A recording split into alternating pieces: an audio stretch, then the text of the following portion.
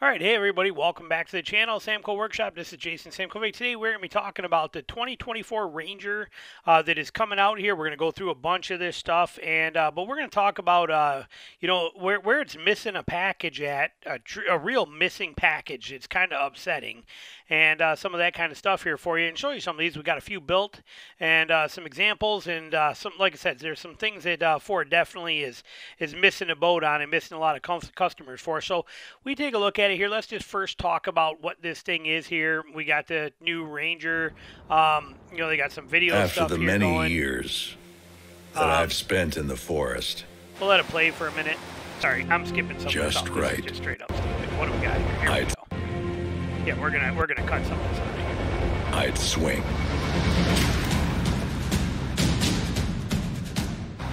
Preparation. That's the true mark of a master. But here, What unites you know, the kayaker, shows you some the examples of surfer, this thing. the climber, truck. the adventurer. Ready for anything. Always thinking ahead. Sharpened by experience. Equipped with the right mindset. And the right set of tools.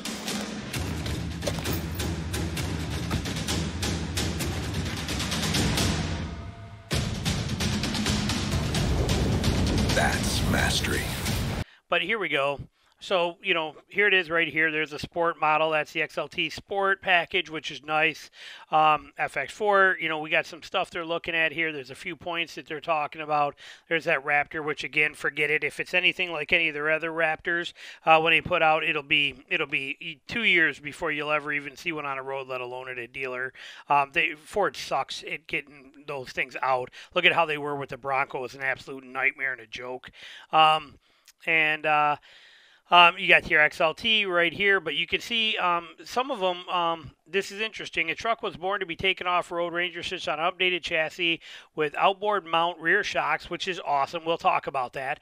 Um, that promote comfort and control off road and up.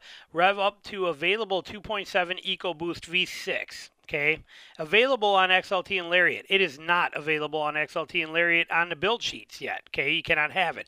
So we don't know what the extra price cost of that will be. I'm guessing it's probably going to be somewhere in the the twenty five hundred dollar range minimum to go to that engine. I'm assuming that's my guess. Uh, we will find out, but it is not even an option right now on their build prices, which we will go through and show you here in a minute. But let's finish this stuff out here um, beacon is trace um, fully, you know, it, well, even again like that, they talk about how, um, you know, outboard mounted rear shocks. That is a great thing. Toyota's been doing that forever. It's the way it should be. Jeep's been doing it forever. It's the way it should be. Um, you know, on the Wranglers and the Gladiators and stuff like that too. It's how it should automatically be. Um, the Colorado ZR2 did that this year for the first time, just like Ranger did, and now has those outboard mounted like they should be. Um, so it's about time to get on board with it. You know, a little late to the party, but at least they're here, so that's a good thing. Um, and uh, a beacon is trace, fully boxed steel frame makes up the backbone of the Ranger. So does every other truck out there now. Toyota learned their lesson with the C-channel rear end, and they changed it to fully boxed for now too. Uh, so that's pretty much the same. Experienced increased increased track width and wheelbase, um, along again with the outboard mounted shocks. Um, so that's great. And I do like the fact that Ford and Chevy actually increased the uh, A arm or the control arm length to give more articulation and more actual suspension flex in their wide body set. Toyota did not. Toyota just added more offset to the wheels, so they did their wide body is just wheel offset. There's no gain to the Toyota Tacoma, but Ford and Chevy did this right. What else do they got on here? Uh, are we not allowed to go that way? We got to go this way. What's this one? Uh, a force of power again at 2.7 EcoBoost. It's going to generate a targeted targeted, you know, it's supposed to, 315 horse and 400 foot pounds of torque. Um, so it's uh, still not quite the same as uh, uh, the Colorado is, but not too bad. You can't really complain about that. And the only way the uh, Toyota will get anywhere near that is with the uh, the hybrid option in it. If you want a hybrid, that's neither here nor there. But for this one, you're getting a 10-speed trans, and like I said, that uh, you get a 10-speed trans even with the 2.3 that's stock But this 2.7 they keep talking about, they say uh, currently anticipated available in winter of 2023-24. We don't know what the price will be. It is saying available on XLT and Lariat models eventually. So we will have to see. But right now, we're going to figure this out without that. Just know that it's going to be a couple grand more to add that, I'll bet. Um, trailer package. Yep, it's got a nice trailer package, but you got to buy it. Does not come standard under any circumstances. We got to add it. Um, standard on a Raptor, but available on XLT and Lariat. We'll cover that. Um, but such a good looking truck. This thing's a beautiful truck. There's no doubt about it. Um, they did it well. It's such an improvement over the 2023, in my opinion, as far as aesthetics and looks go. Um, straight up love the way this thing is.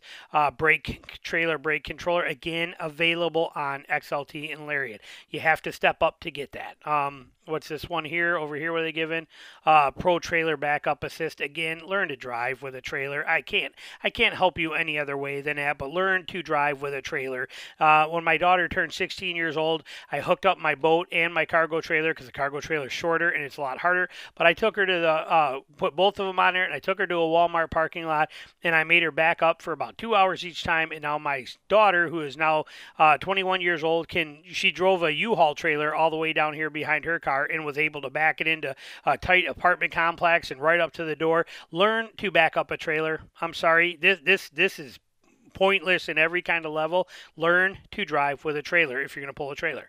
Um, technology with purpose, day or night, rain or shine, uh, loaded with these features. Those lights are pretty sweet. I'm not going to lie. These little zone lighting things that they got around here, those are really kind of cool. Um, but optional um, you know, that kind of thing. So the cameras are neat too for your 360 cameras, blah, blah, blah. Tricked out bed. It's no tricked out bed. It's the same as every other bed on the market. It's got a little bit of power to it, uh, 400 watts or whatever, and uh, some tie downs. And, uh, you know, it's got a uh, um, dampened tailgate. It's the same as every other truck out there. So there's nothing there to write home about. Um, uh, LED bed lighting, so is every other company out there. Um, integrated box step. I love this thing. This is very, very cool. Okay, and I like where they put it, and I like how it's out of the way, and I like they, they nailed this thing. Okay, very well done there for sure.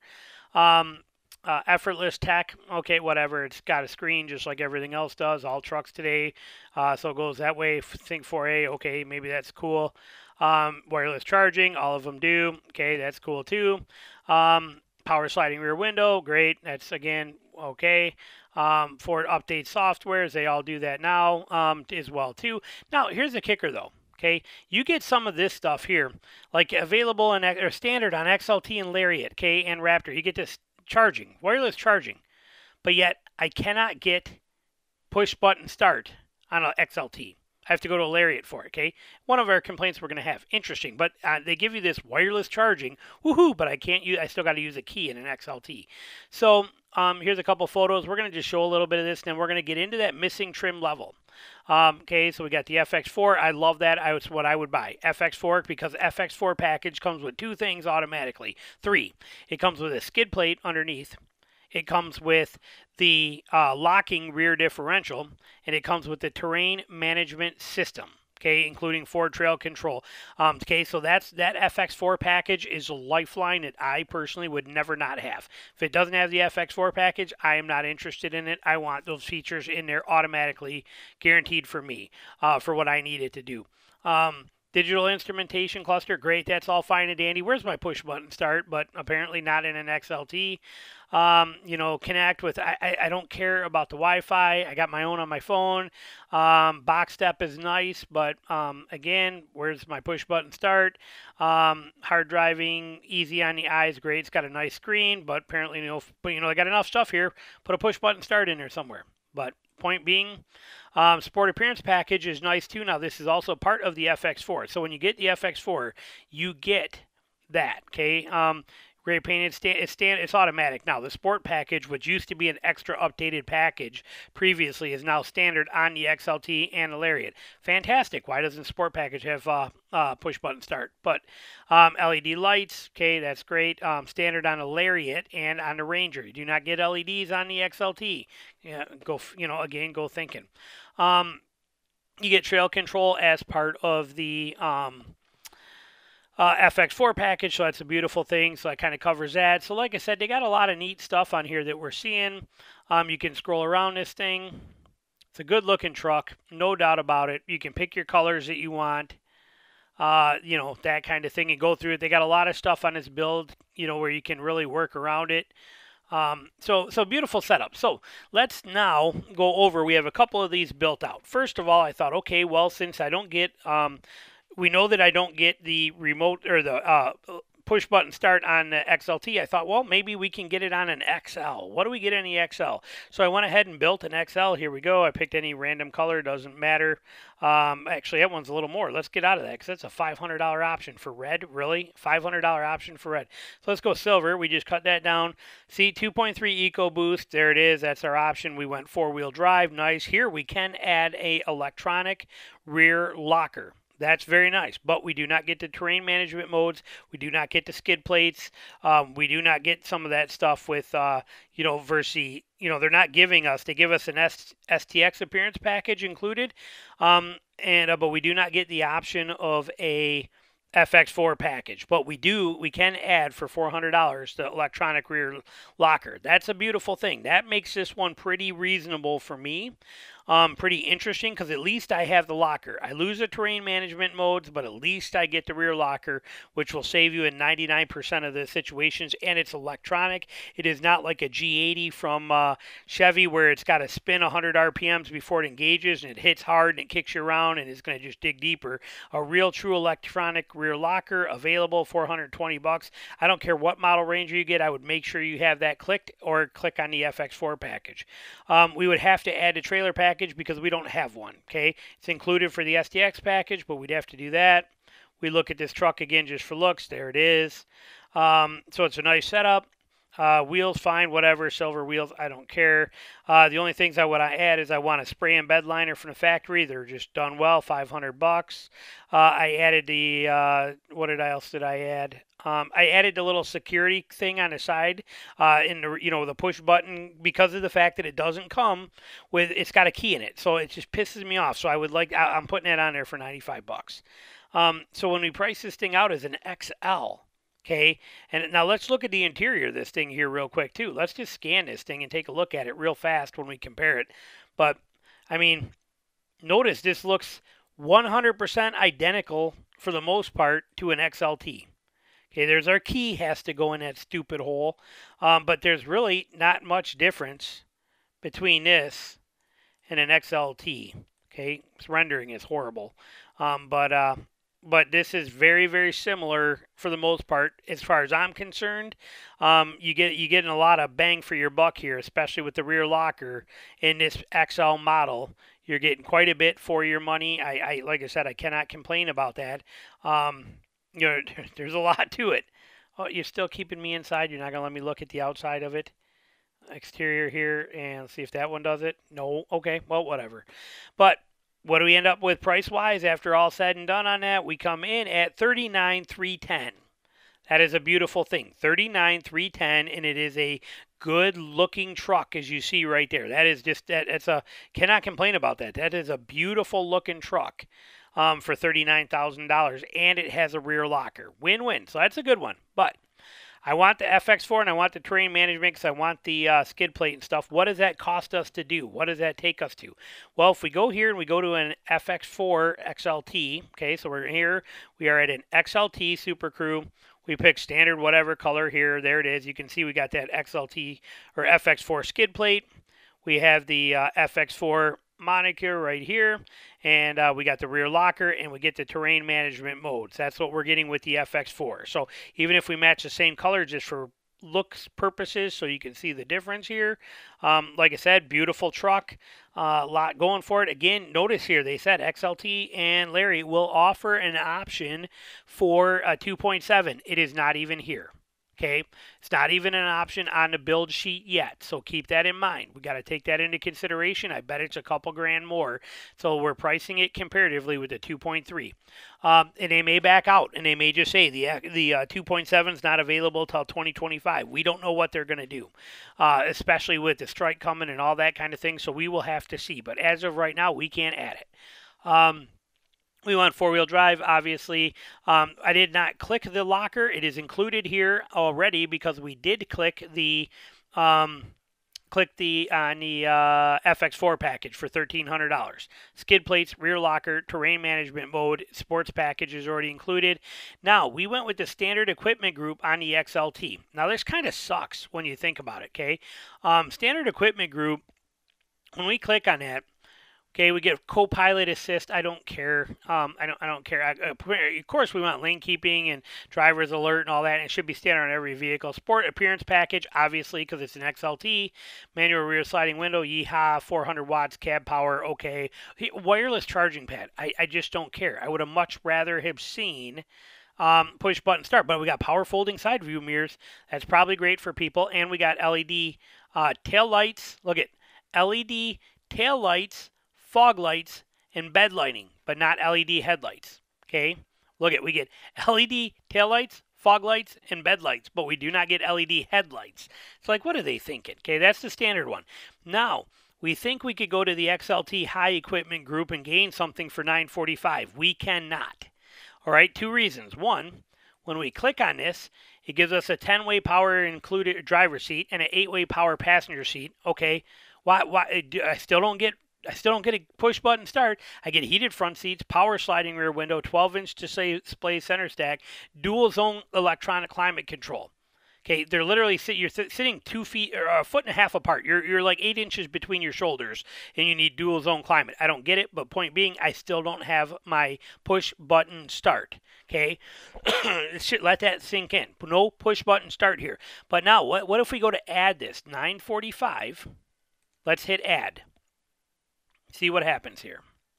Oh, they are removing, okay, Add XLT also requires the following changes manual sliding rear window with privacy glass and defrost, and then you remove the XLT standard discount. Removing that discount takes us from 945 to 1445 so it's a $1,500 increase to get the 12 inch center display and the, uh, the power seats the power seats and a heated front seat. Okay, that's and so no, I'm not going to add that. You, you no, not for that. I'm not paying that kind of money for it. So I said forget it. We continue down. Okay, so we there's that discount that we would have lost right there. That's a beautiful thing, but the truck still looks good. It's FX4. I'm happy with that. It's got all the stuff I want. We have to add in the trailering package because it does not have it. So we don't have to add the uh, I don't care about the advanced one because I don't need it to tell me or show me a camera uh, where I'm going or how to do it. I can back a trailer up. Okay, so there it is. We don't care about that, but we need a trailer hitch on it. So we're going with the standard trailer tow package. We're happy. Four pin, class four hitch. Here it is right there. Um, blah, blah, blah. We're, we're all good. Um, and uh, so we're set. So it's in there. So we got that in there. It was 500 bucks. Yeehaw. Happy to do it, I guess. Um, so we go down here. The only thing on here, we want a bed liner again because I want the spray in bed liner. And I got that, uh, that's included. I got that little security code thing on the side again because they don't give me zone uh, uh, or keyless entry and they don't give me push button start. Again, something that almost every vehicle out there has now, but apparently on this I still have to on a on a 45 or whatever thousand dollar Ranger this comes out to be. I still can't have those, and I got to still use a key, and I don't get uh, wireless entry or keyless entry. But there it is. So we got that in there. The rest is already part of the package. Um, we're going standard cloth seats. Here's what the interior looks like in it. Again, it's very similar to that XL one. Can notice this? I mean, it is almost identical to the XL. Now we get a little bigger in here, maybe by a smidge. I don't know. It looks the same to me, but it looks identical to the XL that we just looked at I don't I'm not seeing any any real difference in here. So, but apparently that's that one. So let that be something to sink in whether it's worth it when we get to the price here for you. Okay, so we figure that out. Nothing else we need in here option wise. We move right on through. What does this put us at? We are at 42,965. Okay, 42,965. And this one here, we were at 39,310. Uh, and uh, so if we do the math, and let's bring this over here and go 42,965 minus uh, 39,310. The difference is $3,700. So I'm paying $3,700, and the only thing I'm really gaining on here is skid plate for the FX4 package and a terrain mode or here I should say. The only thing I'm really gaining is a uh, go back to here for uh, exterior package, packages. Uh, what I'm gaining is I'm gaining a skid plate and a terrain mode option. So that makes this one kind of hard to choose. No offense to it, I'm sorry, but it makes this XLT really hard for me to choose because I don't have push button start. I don't gain any of that uh, remote access with that kind of stuff. I'm not gaining a whole lot of any of it in the packages. It's got the same exact motor in it, and uh, I'm paying $3,700 more for only the terrain management system and a skid plate that I can buy separately for $200.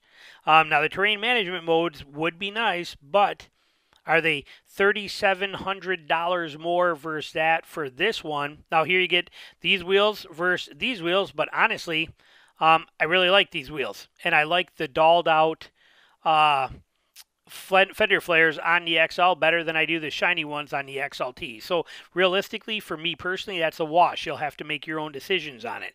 Uh, but that's something to think about. But you are a $3,700 difference between the XLT Ranger with a rear locker and the FX4 Ranger XLT, the I'm sorry, the XL with a rear locker and the XLT with an FX4 package, you are $3,700 difference. So keep that with a grain of salt. We built them both identically. Now, here's the kicker part. Okay, so when we go back down, we know that we're at $42, $43,000 for the XLT. If we go to the Lariat, Okay, so here's a lariat. Okay, so let's do this lariat. Here's the same thing. FX4 lariat. Okay, again, we'll, we'll even pick the same color. So there it is with the same color with those wheels, which I actually much prefer the uh, the XLT wheels much better personally. That is my opinion, but I like these wheels a lot better. I even like these wheels a lot better than I do these wheels that are on. Oh, hang on that, that are on that. Personally, my my opinion, I don't care for that look.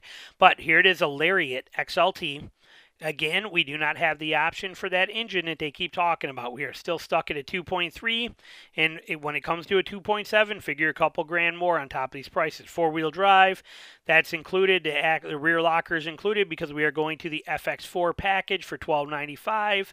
Uh, sport appearance package included. We still have to add the trailer tow package, not included automatically. We have to add it. Um, we got our wheels in there. We come down here. The only other things that we kicked in were, uh, again, I had to put that stupid pad on there because I, now this one I do get push, push button start, um, but I'm putting a pad on there anyway uh, because I don't think we get zone uh, access. I, I couldn't find that anywhere that tells me that I get wireless or uh, keyless entry. I'm sure I do on a Lariat. I'm assuming we do, but I know we get push button start on this one. Um, and uh, okay, dual zones included. Yeehaw, whip to do. Uh, the radio, okay, so otherwise it's built the same way as the XLT FX4. But what do we now? Let's look at that interior. Now here you're getting leather. Okay, there's no doubt you're getting a nicer interior with the leather. I, I hate leather. I, I don't like leather again. I'm, I'm in the woods all the time.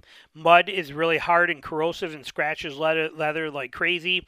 Um, it's too hard to get the stains out. My gear cracks that stuff. My um, my DEET and my bug sprays and my chemicals discolor leather. Leather does not work for me. May for many people, and they might like leather. For me, it's not a good thing. But here it is. Now here you're also getting the electronic shifter.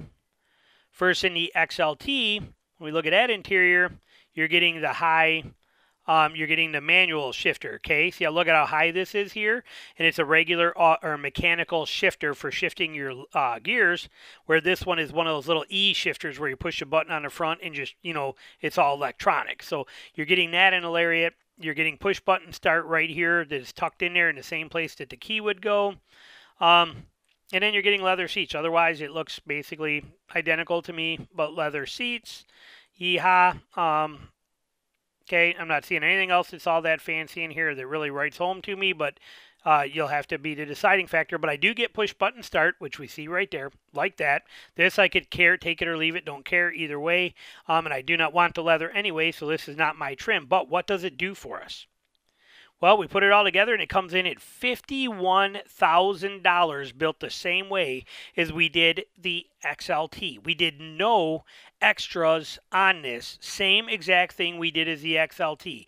No extra packages. Base model um, Lariat, which has more obviously, but base model Lariat. So we are at 50,900, uh, 51,000, basically 51,000. And here on this one, we were at 43,000. Okay, so again, doing it simple terms, we do the math on there. 51,000 minus 43,000. Look at the number. $8,000 difference for leather seats. Oh, here it is right here. Keyless entry. No, it's a keyless entry pad. I don't know if it has keyless walk up and touch a handle on it, but um, but we're paying $8,000 for leather seats you're going to get an LED headlight in here too, automatically with Lariat, but you're getting LED headlight, leather seats, and you're getting um, a push button start. $8,000. Okay, when you look in it, sorry, I meant this one. Here, you're getting the LED headlights. Um, but you're at $8,000 difference between the Lariat and Air. See what I mean? This is where Ford needs an in between package. This XL is a fantastic package for a fantastic price and an incredible truck. They did this one very well. And with a rear locker, an electronic rear locker at that price point, and then especially when the rebates come out on these things or you start negotiating on them and you start talking about a $35,000 truck, gold. This is gold. Okay, this is amazing. This XLT you're at $43,000 for the FX4 one. It's not a bad thing, but you're at $43,000 and you still don't get um, push button start and a few other things, and you're at 43,000, but it's it's manageable, almost swallowable, very comparable to like a Colorado uh, Trail Boss. Um, I like the locker and the terrain management in this better than what we get in a Trail Boss, um, but realistically, you're really not too far away from what I could get a ZR2 for. Um, so there's there's pros and cons everywhere, but this I do not think is a horrible deal. The XL being by far the best deal. This is a smoking deal on an amazing truck. The XLT, it's a good deal on a on an amazing truck. The Lariat, the Lariat's kind of a joke of everything. No offense, and I know a lot of people will buy them, but I would never buy this. Why can't we have an XLT Plus? Okay, something that fits between this one and this one that gives us push button start and the LED headlights and nothing else. Take this one, this Ranger here, the XLT FX4, give it XLT head or uh, LED headlights, give it push button start and jump it up $2,000, okay, versus the Lariat and let us have that. But we go from here, we go $8,000 difference minimum from this to this. Ford needs a package in between these because this is just too big of a jump. It's a joke. And even if you look at this, you're at $51,000 for an FX4 Lariat, where literally I can go right here and I can go to a Raptor Ranger Okay, a Raptor Ranger with a 3 liter, not even a 2.7, but the included 3 liter. Um, I can have it with uh, electronic front locking rear uh, front locking axles, electronic uh, uh, rear lockers. So I got front and rear lockers. I got full decked out everything. Um, this thing is loaded to the gills with almost every feature you could imagine. I throw in a bed liner on it too because it needs it. And just to match the other ones, I throw in a little security thing that we have right here on the doorknobs. Uh, but we put everything else together. This thing, look at this. Look at this. Okay, look at this interior here. Look at this decked out. I love the steering wheel locator. I love that that they do that. That's just really cool. Um, but you got everything you're getting in a Lariat times five. I mean, this thing is decked out. Front rear lockers, bigger stance, most amazing motor you could ever dream of in a in a Ranger ever in history. This thing is just incredible. And when you put it all together, it's literally like, you know, it's like six thousand dollars more. It's actually less to go. It's less money to go from come on, do what I tell you. Just click over on the exterior picture. What do you but it's cheaper to go or I mean cost more or yeah, it is cheaper to go from this Lariat right here to that Raptor than it is to go from an uh to go from the FX4 or the XLT FX4 to a Lariat. XL or Lariat FX4. Let that sink in. So, in my opinion, Ford needs a middle. She she needs to put something between the XLT and a Lariat because it's just a joke on every level. They that they're really missing the boat here because the XLT should the XLT is basically a, a minor upgrade on the XL, and it shows that, but it's three thousand dollar range. But when you go from the XLT to the Lariat, it costs $8,000 more to get leather seats, push button start, and an LED headlight. Come on. I mean, it's just they're missing a boat here. They need another trim level in there. So call Ford up, tell them, say we need an XLT Plus or something there in the middle that's going to give you those things that you're looking for uh, so that you can get that bonus in there. So uh, just a little tip for you and some things to think about if you're planning on buying a new 2024 Ranger. Sure is a beautiful truck. It sure has a ton of possibilities and it's got so much class and style to it. Um, I straight up think it's a beautiful thing and a great improvement over what it was. I'm, I'm excited for it. But it definitely failed miserably in its trim levels with uh, the one missing between the XLT and the Lariat. So, all right, thanks for watching. Talk to you soon.